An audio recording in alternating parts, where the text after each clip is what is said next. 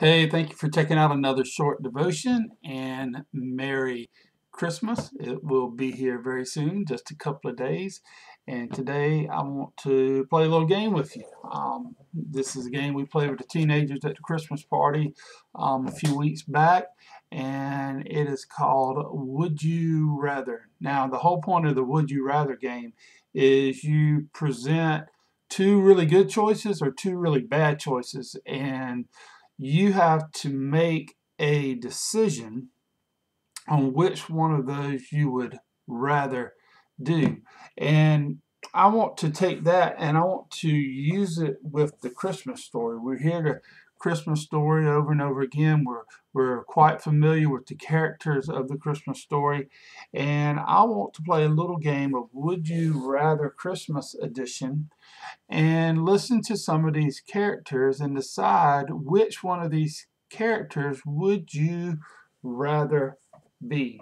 Now, when you think about this, there's a couple of other factors in mind. Maybe you would rather be a one character, but when you hear the other character described, you kind of hear more of yourself in the characters you wouldn't want to be and less of yourself in the character you would want to be.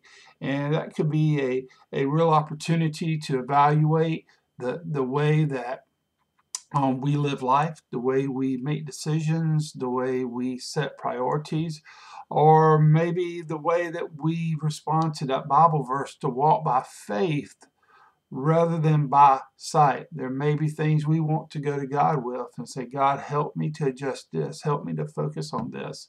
But with all that said, I want you to listen to all these characters. I want you to listen to the, the short description of each character. And of course, you can learn more about these characters by digging into the scriptures themselves and, and having that one on one time with God in prayer and with reading the scriptures as He leads you to, to um, which character, or at least which traits demonstrated by this character you would rather have in your own life. Now let's look at the first one. Um, of course, Mary. Mary is known for her willingness to serve and obey God, even though it brought much difficulty and heartbreak into her life. By faith, she believed anything she sacrificed to serve God would totally be worth it. Then you got Joseph, who is known for his willingness to serve and obey God despite the hardships. But also, Joseph is known for being a little late to the party, wasn't quite ready to take that step of faith right off the bat. But as he struggled with his honest doubt, God revealed to him spiritual understanding, and as a result, he did choose to walk by faith.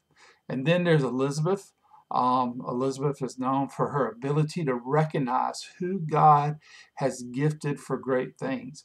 Um, she has excitement and, and willingness to support those people, to encourage those people, and um, to, to help them as they pursue their calling.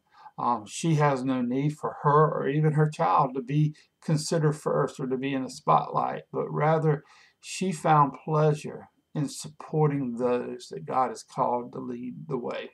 And then her husband, Zechariah, he's known for his desire to please God and his desire to, to seek God. However, he struggled with negativity.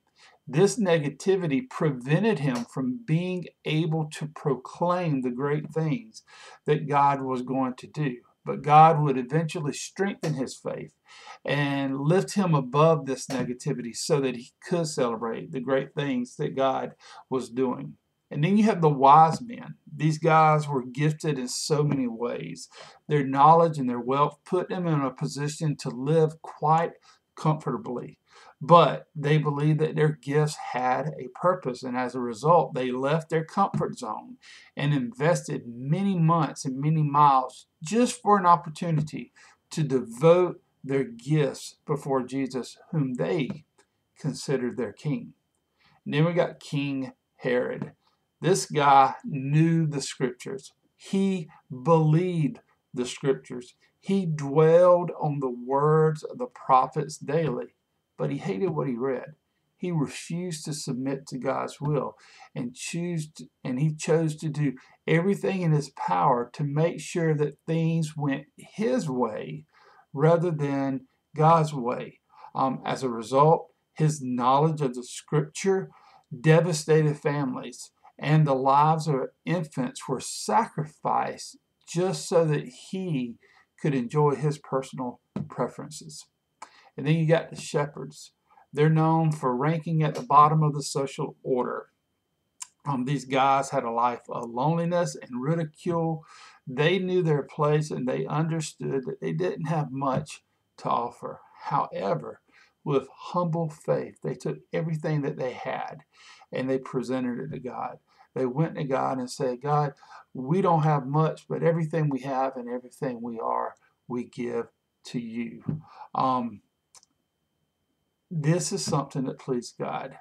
And the shepherds also knew that it pleased God to take the little and do much with it. That God always took the little and achieved miraculous results.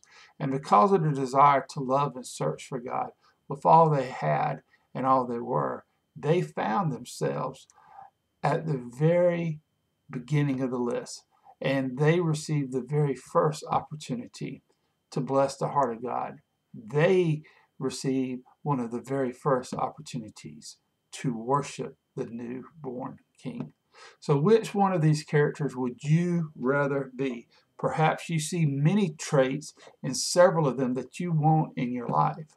So, in a step of faith, through prayer and continuing to study the scriptures, seek to live out those characteristics. So when you look at Jesus face to face one day and he reads your story out loud, you will be known to be that character that you would rather be.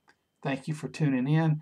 Thank you for checking this out. If you have anything that you want to pray about or just need to um, share some of the things that's on your heart, feel free to give us a call here at First Baptist Honea Path. We'd love to hear what's going on and love to lift you up in prayer as well.